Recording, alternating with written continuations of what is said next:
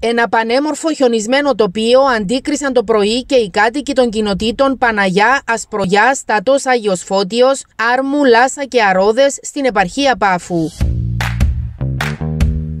Η χιονόπτωση που άρχισε από χθες το βράδυ κάλυψε και τις ημιορεινέ κοινότητες της επαρχίας, δίνοντας μια διαφορετική και ευχάριστη νότα στους κατοίκους που βρίσκονται περιορισμένοι στα σπίτια τους λόγω πανδημίας. Μια χαρά, μια χαρά, μακάρι να συνεχίσει.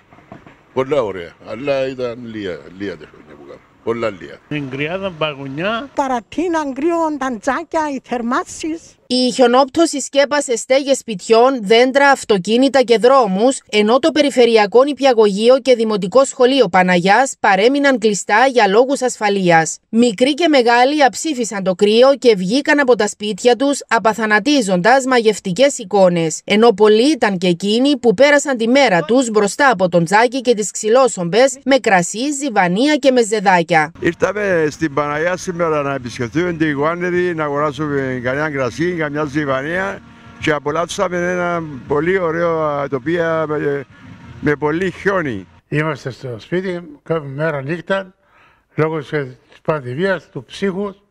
Πού θα πάω, δεν είχε δουλειά τώρα να πάμε.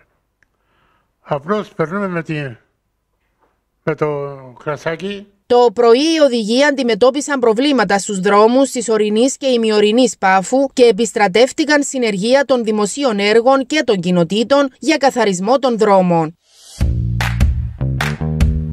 Η αστυνομία με ανακοινώσεις προέτρεπε τους οδηγούς να είναι ιδιαίτερα προσεκτικοί λόγω παγετού και ολισθηρότητας των δρόμων, ενώ απόψε όλες οι αρμόδιες υπηρεσίες θα είναι σε επιφυλακή αφού αναμένεται νέα χιονόπτωση.